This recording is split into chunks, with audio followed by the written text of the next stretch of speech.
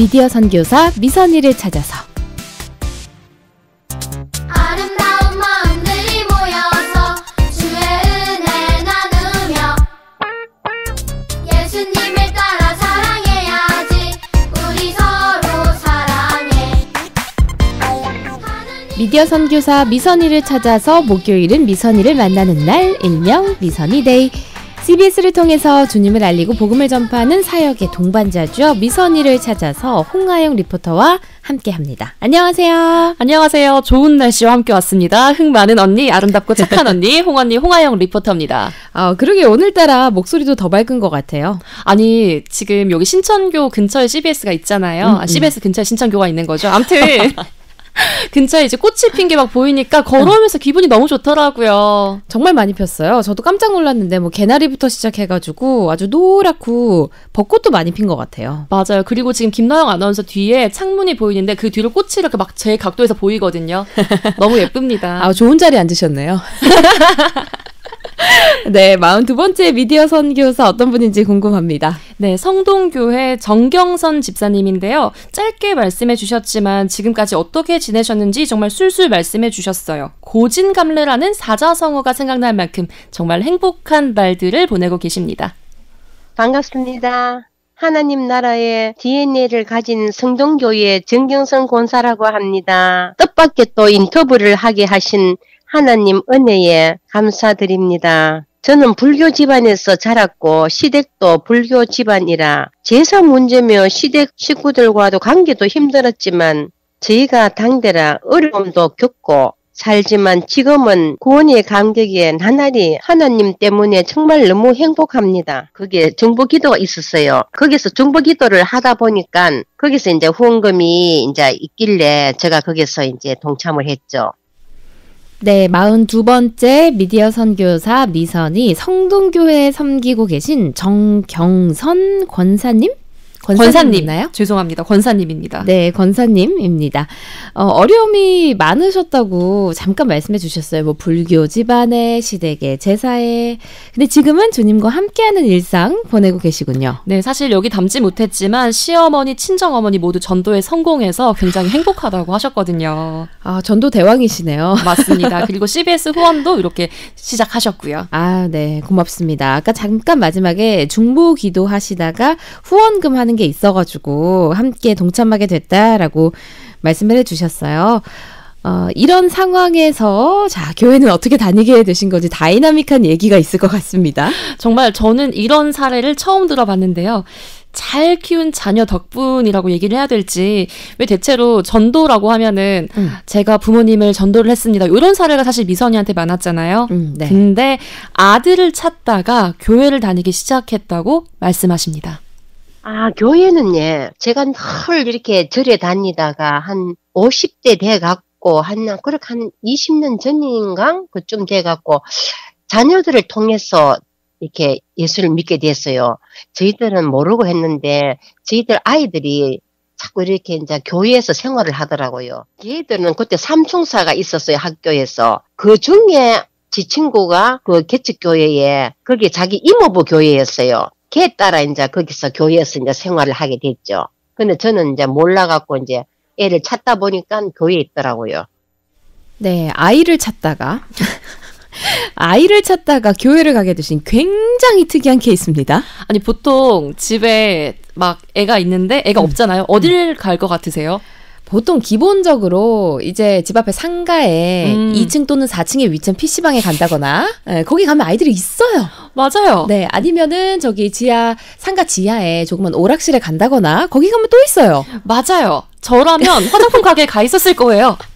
떡볶이 집이나 보통 그런 사례가 흔한데 아드님은 그 장소가 교회였던 거죠. 그렇게 해서 교회 생활을 시작했다고 하고요. 아, 진짜 제가 솔직히 뭐 미선이 분들의 얘기를 이제 한두 번 들어본 게 아닌데 아들 찾다 교회 갔다 얘기는 진짜 처음 들어봅니다. 정말로.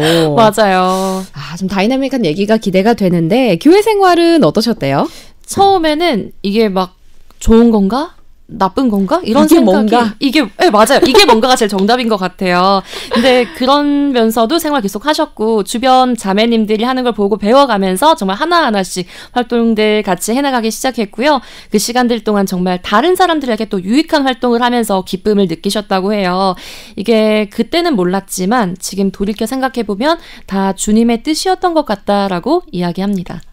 너무 진짜 쑥스럽고 예수님이 뭐 누구신지도 아무것도 모르고 갔으니까 봉사하라면은 그냥 봉사하고 뭐 11조도 뭔지도 모르고 11조 하고 아우 그래도 너무 좋았죠. 너무 좋아가 그때서부터 제가 이제 할 수 있는 거는 이제 물질적으로 도우는 것밖에 없었으니 뭐 아무것도 모르고 그냥 왔다 갔다 했어요. 하, 그 지금 생각해 보니까 야 하나님은 그런 그런 길로 또 인도를 하셨구나. 안 그러면은 제가 또 교회를 잘 안 갔을 것 같아요.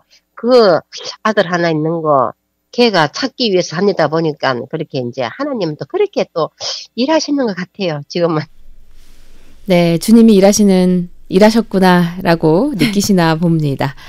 아, 참 들어도 들어도 들어도 들어도 신기한데 방금 권사님 말씀해 주신 것처럼 주변에 보면은 내가 믿음이 생기면 어, 주님을 진짜 진정으로 만나면 그때 교회를 가겠습니다 라고 하시는 분들이 있는데 네. 그런 분들은 사실은 모르겠어요. 가시는 분도 있지만 결과적으로 못 가시는 분들이 좀 더 많은 것 같고요. 시간이 좀 늦어지죠. 네네 계속 지연이 되고요. 이렇게 권사님처럼 아, 뭔지 모르겠는데 우선 몸이 먼저 가잖아요. 그러면 마음이 금세 따라와 주는 것 같아요. 맞아요. 네. 또 보고 듣는 게 많다 보니까 좀더 음. 가까워지는 시간이 줄어드는 것 같기도 하고요. 네, 그렇습니다. 미디어 선교사 미선이를 찾아서 CBS를 통해서 주님을 알리고 복음을 전파하는 사역의 동반자를 만나보고 있습니다. 오늘은 마흔 두. 번째 미선이 정경선 권사님의 이야기로 함께하고 있습니다.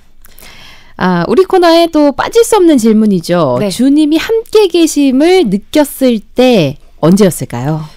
일상 속에서라고 말씀해 주셨어요. 보통 음. 이런 답변들 많이 하시는데 정말로 일상 속에서 늘 함께 하구나라고 느끼지만 강력한 메시지를 느꼈던 적은 좀 아직은 없는 것 같다라고 좀 아쉬워하는 말씀하셨어요. 이 말씀을 듣고 이러다 보니까 아 정말로 예수님이 우리를 위해서 돌아가셨구나 그 십자가를 그냥 무의미하게 보고 다녔는데 아 그게 아니구나 하는 것도 알았고 그 다음에는 그렇게 뭐 무슨 성령을 그렇게 체험을 하고 이런 것도 잘 몰라요. 모르고 그냥 뭐 교회에서 같이 중부 기도하고 그냥 신앙생활하고 그냥 뭐 노방전도 하고 이러면서도 다른 사람들은 뭐 특별히 뭐뭐 환상을 본다거나 말씀을 이렇게 탁 주신다거나 뭐 찬양을 주신다거나 뭐 이런 게탁 있다 하던데 저는 그런 거를 못 느끼고 아 저도 좀 하나님께서 좀 아, 그런 거 좀 보여주셨으면 안 좋겠나 이래 싶은데도 그게 다 다르니까. 그냥 내 안에 성령님이 계시니까 항상 지혜도 주시고 뭐 잘 모를 때는 성령님 의지해 갖고 살고 그래서 지금은 든든하죠 뭐 맞아요. 지금은 든든하다 이렇게 말씀해 주셨습니다.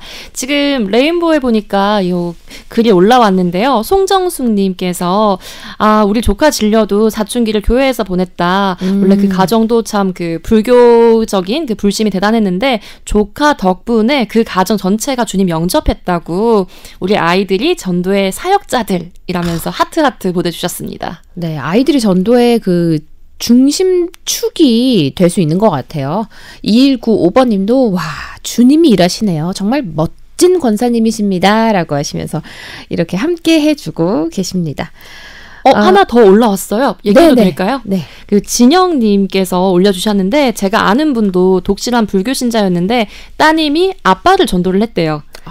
그런데 새로운 모습 보면은 참 신기하고 놀랍다라고 하시고 또 한 분은 소천하셨지만 목사님이 되셨다고 이렇게 어, 말씀하셨습니다. 옛날에 그런 얘기 있잖아요. 왜 자식 이기는 부모 없다고. 아, 건가요? 전도에도 적용되나 봐요. 어, 부모님께서 아직 믿지 않으신다면 좀 더 힘내서 음. 이렇게 한번 해보시는 것도 정말 저 추천드립니다. 네, 그러게요. 진짜 좋은 방법인 것 같고요. 어, 노방전도도 열심히 하셨다고 하셨어요. 맞아요. 노방전도 정말 열심히 하셔서 정말 길을 보이는 사람들에게 한번 오세요. 밥이라도 먹으러 오세요. 음, 이렇게 음. 해서 정말 많이 오셨다고 하고 또 생각나는 친구가 한 분 있다고 해요.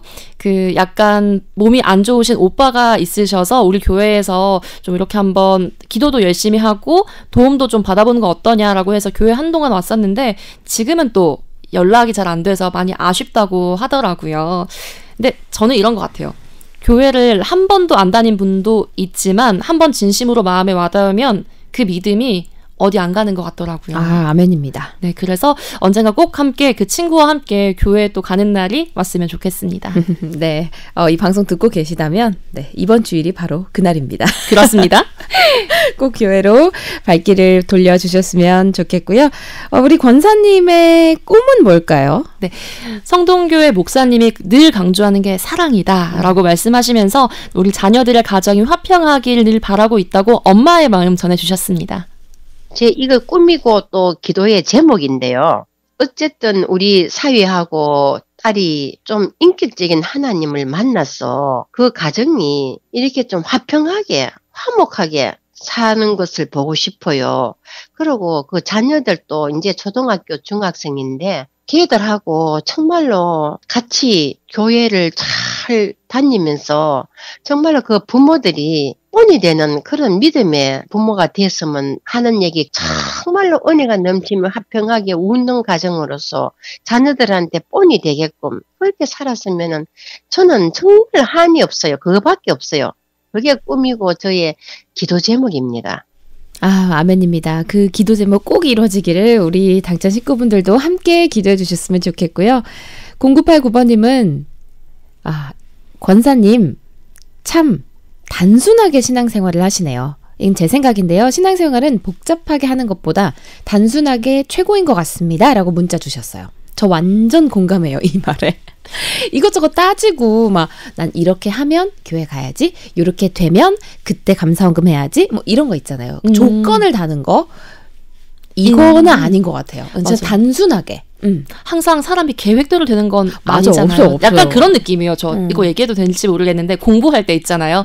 이것저것 다 재고하면은 공부를 할 수가 없어요. 일단 시작하는 게 제일 일단 중요한 것 같아요. 앉아야 돼. 엉덩이 붙여야 돼. 그게 제일 중요해요. 그래요, 맞아요. 주일에 어떻게 해야 된다고요? 교회를 가야 된다고요. 일단 가는 것부터 아, 약간 전도 왕 될 것 같은데. 우리 김다영 아나운서 최고입니다. 아, 정경선 권사님의 이때 이 찬양은 또 어떤 걸까요? 네, 찬송가 412장 내 영혼의 극히 깊은 데서라고 하셨는데 그 이유 함께 듣겠습니다. 412장도 내용원에 극히 깊은 데서 그것도. 하, 그냥 이거는 들으면은 들을수록 그렇게 자꾸 마음에 와닿고 그리 편안하고 좋아요. 사절을 보면은 항상 저이땅 위에 험한 길 가는 동안에 참 참된 평화가 어디 있겠습니까? 근데 우리 모두 다 예수를 친구 삼아서 평화를 누리겠다 했으니까 그래서 그 평화 평화 하늘 위에서 내려오는 그 사랑의 물결 그런 거를 이렇게 듣고 같이 부르고 이러면은 정말 거기 흠뻑 들어가면은 그렇게 편안하고 좋을 수가 없어요. 네, 아, 가사를 지금 말씀하시는 거 들어보니까 가사를 다 꿰고 있으시네요. 평화, 평화로다. 이거를 제가 보기에는 아예 외우고 계세요. 아, 음. 고맙습니다. 오늘 신청해주신 곡 내용은 그 깊은 데서 찬송가 412장입니다. 이 찬양 제가 이지은의 목소리로 어, 준비해 놓겠습니다. 42번째 미선이 정경선 권사님의 이때 이 찬양 내용은 극히 깊은 데서고요. 아유, 많은 분들이 문자로 함께 기도합니다라고 해주셔서 아, 제가 대신 감사의 말씀을 전합니다. 아, 이진의 내용의 극히 깊은 데서 들으면서 우리 홍하영 리포터와는 여기서 인사 나눠야 될 것 같아요. 고맙습니다. 네, 고맙습니다.